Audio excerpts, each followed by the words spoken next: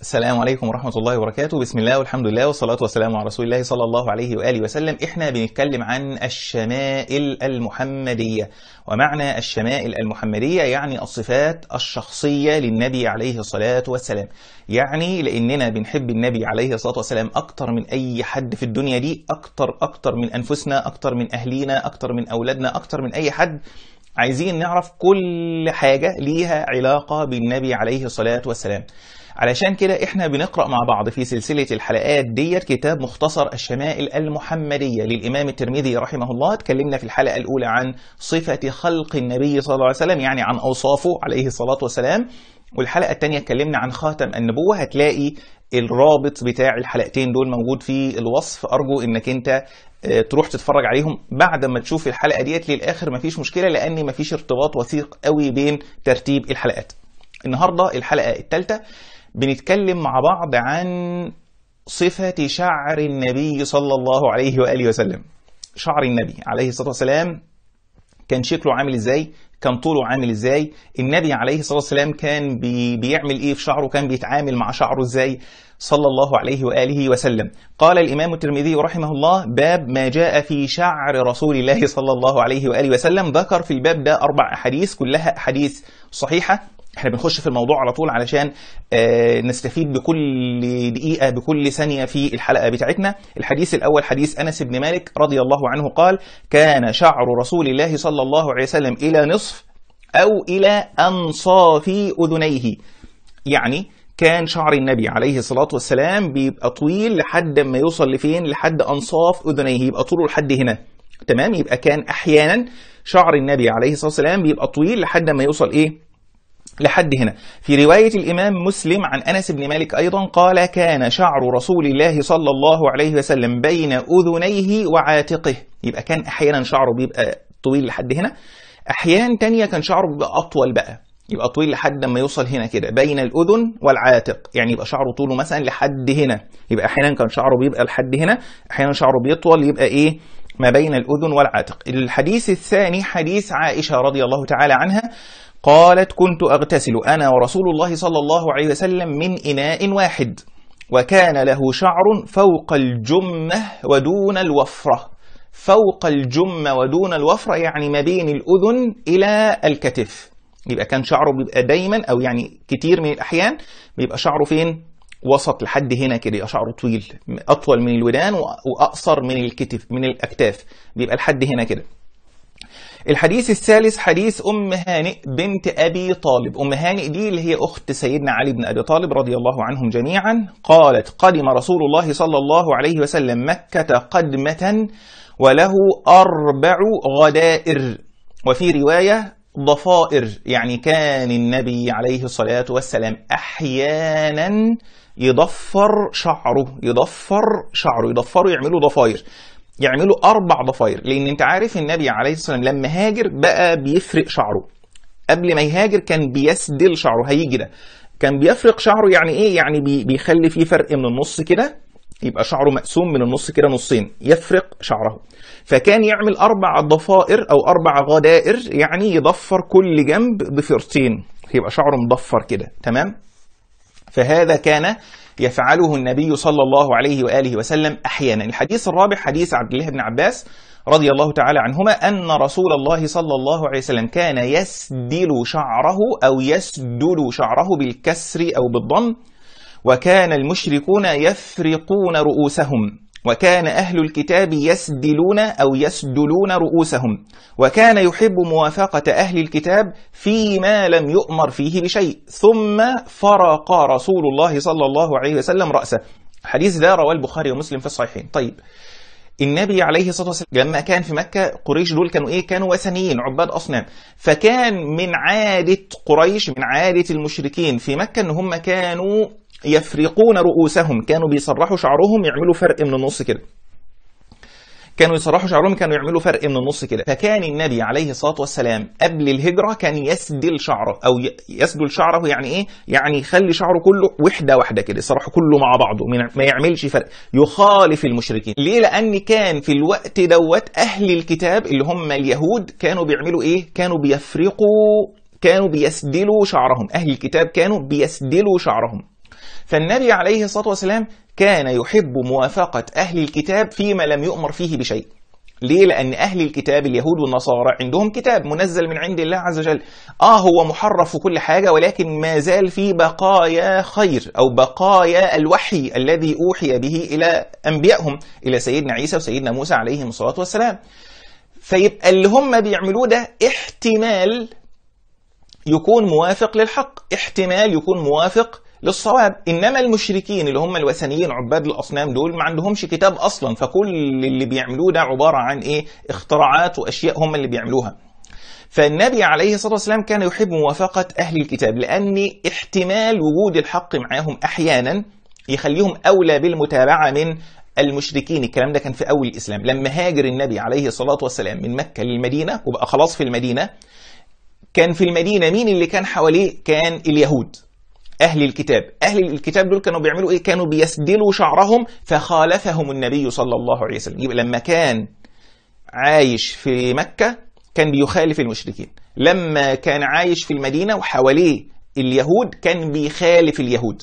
يبقى دي يا إخوانا من المسائل المهمة جدا وهي أن النبي صلى الله عليه وسلم كان يتعمد مخالفة المشركين سواء الوثنيين عباد الأصنام في مكة أو أهل الكتاب كفار أهل الكتاب اللي هم اليهود في المدينة كان يتعمد أن هو يخالفهم حتى في تسريحة الشعر.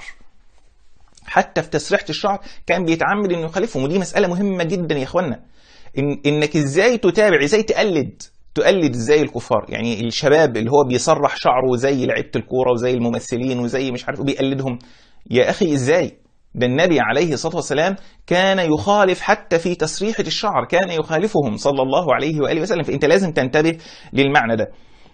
هنا بيجي سؤال طب هو معنى كده إن النبي عليه الصلاة والسلام كان شعره بيبقى طويل؟ أحيانا إحنا قلنا كده شعر النبي عليه الصلاة والسلام كان بيبقى كام طول؟ أحيانا كان يبقى الأنصاف أذنيه وأحيانا كان يبقى لشحمه الأذن لحد هنا كده وأحيانا يبقى ما بين الأذن والعاتق وأحيانا كان يضرب منكبيه أو منكبيه كان يضرب أكتافه عليه الصلاة والسلام يعني يبقى شعره طويل لحد الأكتاف. ما كانش يبقى أطول من كده يعني ما كانش يبقى شعره طويل قوي نازل على ظهره لا.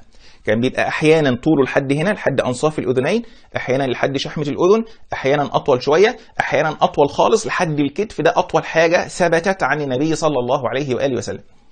الكلام ده معناه إن تطويل الشعر سنة للرجالة يعني من السنة إن إن الرجال يطيلوا شعرهم نقول لا دي مش من السنة ولا حاجة. إنما كان النبي صلى الله عليه وسلم يفعل ذلك على عادة الناس على عادة الناس يعني هم ناس كانوا معتادين في زمانه إن هم يعملوا كده. فهو كان يفعل ذلك على سبيل العادة وليس على سبيل العبادة ما هياش عبادة. إنما عادة فعلها النبي صلى الله عليه وسلم تمشيا مع المجتمع اللي هو عايش فيه. زي ما كان بيركب الخيل والبغال والحمير والإبل والكلام ده لأن دي عادة الناس. كان بيقضي حاجته في الخلاء لأن دي عادة الناس. ما هياش دين. إنما تبقى دين إمتى؟ لو النبي عليه الصلاة والسلام أمر بها خلي بالك أو رغب فيها. يبقى في الحالة دي تبقى إيه؟ ما تبقاش عادة تبقى دين. زي إيه؟ زي اللحية. النبي عليه الصلاة والسلام كان بيطلق لحيته على عادة العرب إن كل الناس حواليه كانوا بيطلقوا لحاهم ما كانش فيه راجل بيحلق دقنه أبدا فهذه عادة أيوة عادة ولكن النبي صلى الله عليه وسلم أمر بها أمر بها فقال وفروا اللحى أرخوا اللحى اتركوا اللحى فانتقلت هنا من العادة إلى الإيه؟ إلى العبادة بقت دين أصبحت الآن دين ما بقتش عادة واضح يا إخوة؟ إنما إطالة الشعر هذا ليس فيه سنة ولكن الصواب فيها أن يتمشى مع عادة أهل بلده. يعني لو أنت عايش في بلد عادة الناس الرجال إن هم بيحلقوا شعرهم يبقى قصير خالص زي إحنا هنا في مصر وأغلب الدول العربية يبقى تلتزم بده. لا تشذ عن الناس لا تخالف عادة الناس أو هدي الناس. تمشي على اللي الناس ماشية عليه.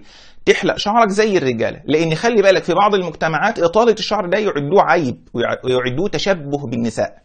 هذا ينبغي ألا تفعله. لو أنت قاعد في مجتمع من الطبيعي عندهم أو من المعتاد عندهم إن هم بيطيلوا شعرهم زي أوروبا وبعض الأماكن وأنت عايز تطيل شعرك بحيث إنك ما تبقاش شاذ في وسط الناس ما فيش مشكلة. اذا فالأمر ده متروك لإيه؟ لعادة الناس ليس فيه سنة. ما ينفعش واحد يقول إيه إن السنة إطالة الشعر. لا مش من السنة ولا حاجة. طبعا من الحاجات المهمة إن لما تحلق شعرك إما إنك تحلق شعرك كله وإما إنك تترك شعرك كله يا إما إنك تسيب شعرك كله طويل أو تحلقه كله. إنما نهى النبي صلى الله عليه وسلم عن حلق بعض الشعر. إنك تحلق شوية شعر وتسيب تحلق شوية من هنا وتسيب شعرك من هنا طويل أو أي بقى حاجة من التقاليع اللي بيعملوها ده. كل ده مخالف لهدي النبي صلى الله عليه وسلم بل نهى عنه رسول الله صلى الله عليه وسلم نهي تحريم فهو محرم لا يجوز أن أن يفعله أحد. لقول النبي صلى الله عليه وسلم احلقه كله أو اتركه كله. يبقى شعرك إما إنك هت- هتطوله تسيبه كله طويل أو تحلقه يبقى تسيبه كله محلوق. إنما ما تسيبش جزء منه محلوق وجزء منه طويل دي سنة النبي عليه الصلاة والسلام وده اللي أمر به رسول الله صلى الله عليه وآله وسلم. آه، الباب الثاني باب ما جاء في ترجل رسول الله صلى الله عليه وسلم. الباب ده الإمام الترمذي رحمه الله ذكر فيه خمس أحاديث منهم ثلاث أحاديث صحيحة هنقولهم مع بعض. الحديث الأول حديث أم المؤمنين عائشة رضي الله تعالى عنها قالت كنت أرجل رأس رسول الله صلى الله عليه وسلم وأنا حائض. يعني كان بيصرح له شعره عليه الصلاة والسلام بإيديها وهي حائض. ده دليل على إن الحائض ليست إيه؟ ليست نجسة أو الكلام ده. وفي برضه دليل على معنى جميل إن هم كأسرة شوف يعني زوجته هي اللي بتصرح له شعره بإيديها ده يدل على التودد والتلطف والتحبب والعلاقة الجميلة اللي كانت بينهم هي اللي بتصرح له شعره بإيديها رضي الله تعالى عنها. الحديث الثاني حديث أم المؤمنين عائشة أيضا رضي الله تعالى عنها قالت إن كان رسول الله صلى الله عليه وسلم ليحب التيمن في طهوره إذا تطهر. يعني النبي عليه الصلاة والسلام كان بيحب يعمل كل حاجة يبدأ باليمين كان كده من سنته ومن هديه عليه الصلاة والسلام إن هو كان لما يبدأ أي حاجة يبدأ فيها باليمين. قالت كان ليحب التيمن البدء باليمين في طهوره إذا تطهر. يعني لما يجي يتوضأ أو يغتسل يبدأ دايما باليمين. إيديه اليمين آه، رجله اليمين وشقه اليمين لما يجي يغتسل. وفي ترجله إذا ترجل لما يجي يسرح شعره يبدأ بالإيه؟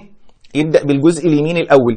وفي انتعاله إذا انتعل لما يجي يلبس النعل يحط يلبس رجله اليمين الأول. هذا الحديث متفق عليه وفي رواية البخاري قالت رضي الله عنها وفي شأنه كله عليه الصلاة والسلام يعني في كل أمره كان يحب أن يبدأ باليمين. لذلك تيأمنوا يا عباد الله فإن في اليمين بركة.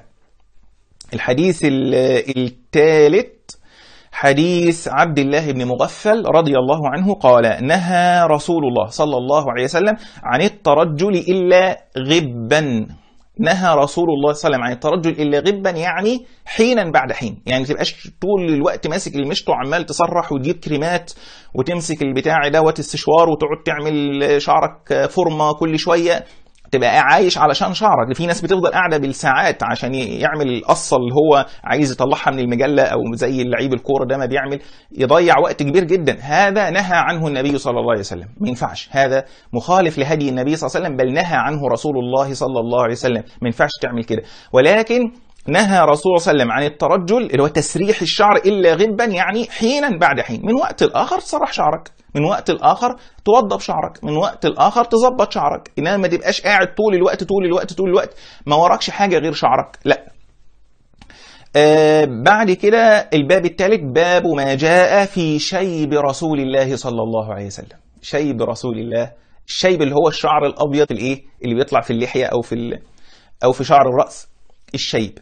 آه الباب ده فيه سبع أحاديث كلها صحيحة. الحديث الأول حديث قتادة قال سألت أنس بن مالك رضي الله عنه آه هل خضب رسول الله صلى الله عليه وسلم؟ خضب يعني هل النبي عليه الصلاة والسلام سبغ شعره؟ هل خضب رسول الله صلى الله عليه وسلم؟ قال لم يبلغ ذلك. يعني ما كانش الشعر الأبيض اللي في لحيته وفي شعره كتير قوي لدرجة إن هو يحتاج إنه يصبغ.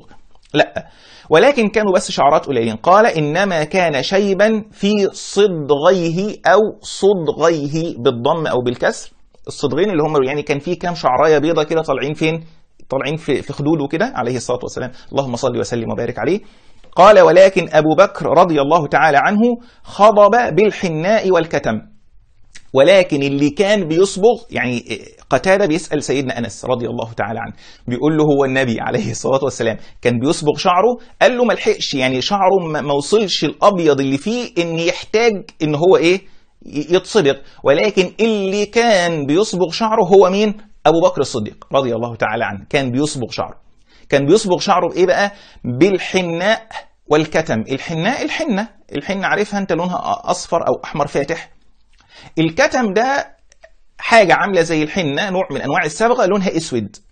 فهو كانوا بيعملوا إيه؟ أنت طبعا الحنة لونها أصفر فاتح. فبيجيبوا الكتم ده اللي هو لونه اسود ويحطوا منه على الحناء فيقوم يغمق لونها شوية فيدي درجات الأصفر والأحمر. أصفر فاتح أسمر أصفر أصفر أغمق شوية أغمق أكتر أحمر أحمر غامق. كل ده. إنما ما كانش حد منهم بيصبغ بالإسود خالص. هذا نهى عنه النبي صلى الله عليه وسلم. صبغ الشعر بالسواد حرام نهى عنه النبي صلى الله عليه وسلم. فقال لما جابوا له أبو قحافة اللي هو والد سيدنا أبو بكر الصديق وكانت رأسه كالثغامه البيضاء من يعني بيضة خالص شعره شايب خالص. فقال غيروا هذا واجتنبوا السواد.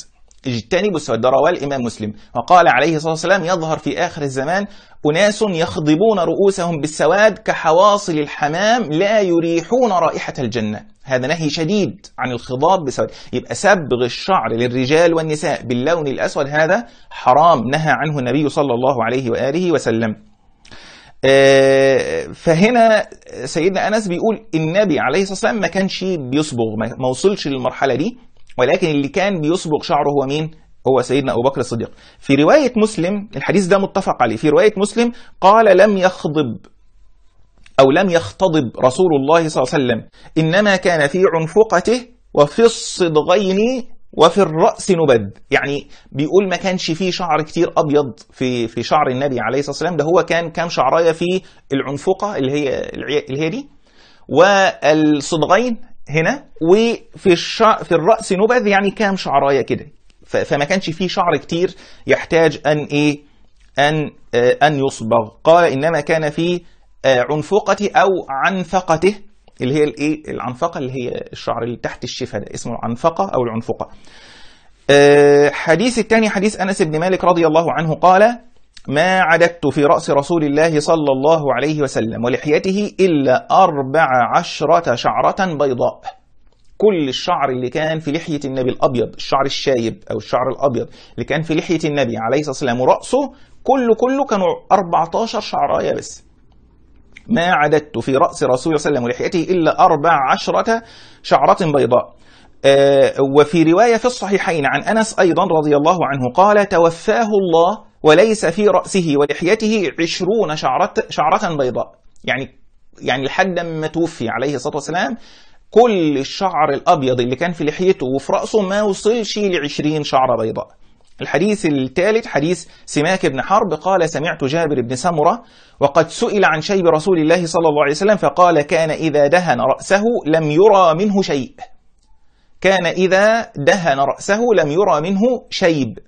لما كان يدهن بالزيت يعني هم لأنهم كانوا شعرات قليلة كام شعراية فكان لما بيضع زيت على شعره عليه الصلاة والسلام كان الزيت لون الزيت بيداري لون الشعر الأبيض.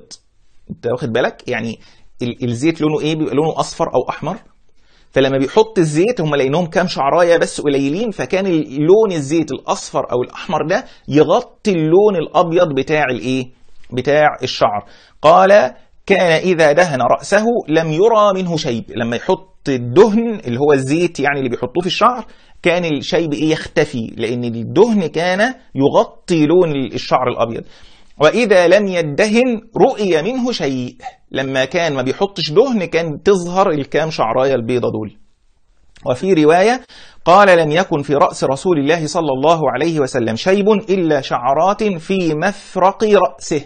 يعني ما كانش فيه شعر أبيض كتير ده هم كانوا كام شعراية بس في مفرق رأسه في نص الرأس كده. إذا ادهن وارهن الدهن يعني لما يستخدم الدهن اللي هو الزيت بتاع الشعر الزيت يروح من إيه؟ مغطي آه الشعرات البيضة ديت. الحديث الرابع حديث عبد الله بن عمر رضي الله عنهما قال إنما كان شيب رسول الله صلى الله عليه وسلم نحوا من عشرين شعرة بيضاء. يعني شيب النبي الشعر كل الشعر الأبيض اللي كان في لحيته وفي رأسه كله كله كان نحو عشرين شعرة بيضاء يعني ده نفس العدد اللي قاله أنس رضي الله تعالى عنه. الحديث الخامس حديث عبد الله بن عباس رضي الله تعالى عنهما قال قال أبو بكر يا رسول الله قد شبت. سيدنا أبو بكر الصديق بيقول للنبي عليه الصلاة والسلام بيقول له أنت شبت يا رسول الله قد شبت. قال شيبتني هود والواقعة والمرسلات وعما يتساءلون وإذا الشمس كورت. شاب النبي عليه الصلاة والسلام من القرآن. الكلام ده معناه إيه؟ معناه إن هو عايز يقول له إن أنا شبت من خوف الله عز وجل. شبت من الخوف من الآخرة.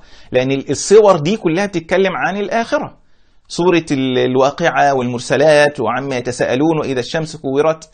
وسورة هود التي نزل فيها قوله تعالى فاستقم كما أمرت ومن تاب معك ولا تطغوا إنه بما تعملون بصير. آية شيب. فالشيب ده بيكون من إيه يا إخواننا؟ بيكون من الهم من الهم. فهو النبي عليه الصلاة والسلام عاوز يقول إن أنا ما شبتش من هم الدنيا أو إن أنا شايل هم الدنيا فشبت لا ده أنا شبت من هم الآخرة. الذي شيبني هو هم الآخرة. الحديث السادس حديث أبي جحيفة قال قالوا يا رسول الله نراك قد شبت. يعني إنت بدأ يظهر في في شعرك شعر أبيض بدأت تشيب. خلي بالك النبي عليه الصلاة والسلام كان في الوقت ده عنده فوق ال 60 سنة. ومع ذلك ده بالنسبة للعرب كان شيء غريب إن هو في السن ده وتبدا يبدأ يشيب. خلي بالك إحنا هنا دلوقتي بتلاقي الشاب عنده 30 سنة وشعره نص لحيته بيضة أو نص شعره أبيض وهو عنده 30 35 سنة. ليه؟ من شيلان الهم.